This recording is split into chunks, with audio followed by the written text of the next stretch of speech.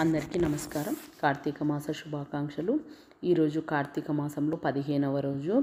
మనము కార్తీక పురాణంలో పదిహేనవ అధ్యాయం గురించి చూసినట్లయితే వశిష్ఠ మహర్షి జనక మహారాజుకు దీప ప్రజ్వలనం జ్ఞానప్రదాయకము అని వివరించడం గురించి అయితే ఉంది. మనం కూడా అధ్యాయంలోకి వెళ్ళినట్లయితే వశిష్ఠుడు జనకుడితో ఓ జనక మహారాజా ఈ కార్తీక మాసంలో శివకేశవుల ఆలయాల్లో ఎక్కడైనా దీపారాధన నృత్యము గానము దీపమాల సమర్పణ సమర్పణ చేసిన వారు ముక్తి మోక్షాలను పొంది తరిస్తారు.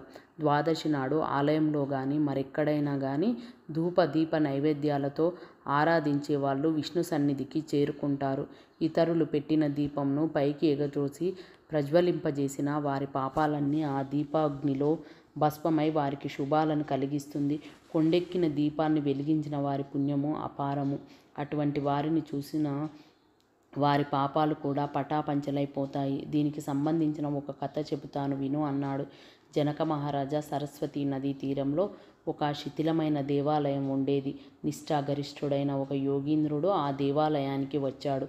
అది కార్తీక మాసం. మానవ ధర్మంలో ఆచరించవలసిన జప తప స్నాన సంధ్యాదులన్నింటికి వీలుగా ఉంటుందని ఆ ఆలయాన్ని పరిశుభ్రం చేశాడు.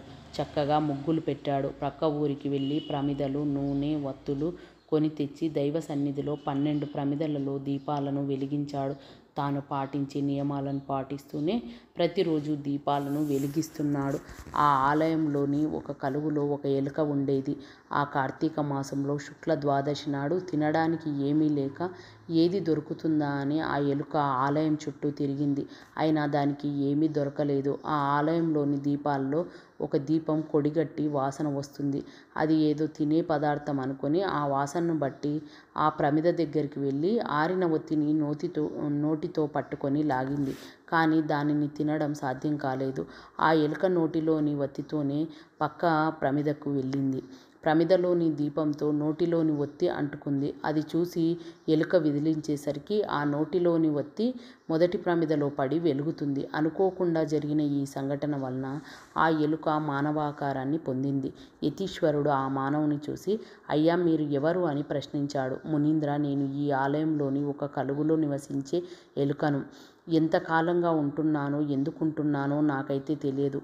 మీరు పెట్టిన దీపాల తోరణంలో ఆరిన దీపాన్ని నా నోట పెట్టుకొని అవతలి అవతలి ప్రమిదను తాకాను. అప్పుడు నా నోటిలోని వత్తి మండింది. ఆ మండుతున్న ఒత్తిని ఆరిన దీప ప్రమిదలో విడిచిపెట్టాను. ఆ క్షణంలోనే నాకు మానవ ఆకారం వచ్చింది. ఆ మానవుడు చెప్పిన మాటలు విన్న యతీంద్రుడు తన దివ్య దృష్టితో ఆ ఎలుక యొక్క పూర్వజన్మ విషయాన్ని గమనించాడు. అయ్యా ఈరోజు కార్తీక శుద్ధ ద్వాదశి. తినడానికి ఏమి దొరుకుతుందా అని వెతుకుతూ ఆలయం చుట్టూ ప్రదక్షిణ చేశావు. స్వామి సమీపంలో ఉన్న దీపజ్వాలను చూశావు. అందులో ఆరిన ప్రమిదలోని ఒత్తిని తిని వస్తువని భ్రమపడి నోటితో కరుచుకొని పక్కకు కదిలావు. వెలుగుతున్న ప్రమిదలోని జ్వాలతో నీ నోటిలోని వత్తిని వెలిగించి ఈ విధంగా నీకు దీపాన్ని వెలిగించిన పుణ్యం లభించింది. నీ పాపాలన్నీ తొలగిపోయాయి. మానవ ఆకారాన్ని ధరించావు. పూర్వజన్మల్లోని పాపఫలం కారణంగా నువ్వు ఎలుకగా పుట్టావు. గడిచిపోయిన జన్మలో నువ్వు బ్లా బాహ్లిక దేశంలో జైనమతంలో పుట్టావు.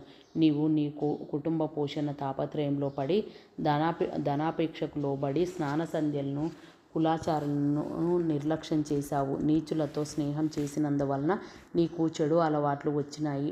ఆ కారణంగా మద్యపానం చేస్తూ ఉండేవాడివి. ఆ విధంగా నువ్వు చేసిన దురాచారాల వలన దేవతారాధనకు దూరమైనందువలన ఈ జన్మలో ఎలుకవై పుట్టావు. ఆలయంలో జీవిస్తున్నందువలన నీవు జన్మాంతరాల్లో చేసిన పాపం అంతా తొలగిపోయింది. కర్మ పరిపక్వత కలిగింది. మానవ జన్మ లభించింది. ఇక మీదటనైనా భక్తితో ప్రవర్తిస్తూ ముక్తిని పొందు అని యోగి ప్రబోధించాడు అని చెప్పాడు. ఇంతటితో పదిహేనవ రోజు పారాయణం సమాప్తమైంది. మళ్ళీ రేపు మనము పదహారవ రోజు పారాయణంతో కలుసుకుందాం. Thank you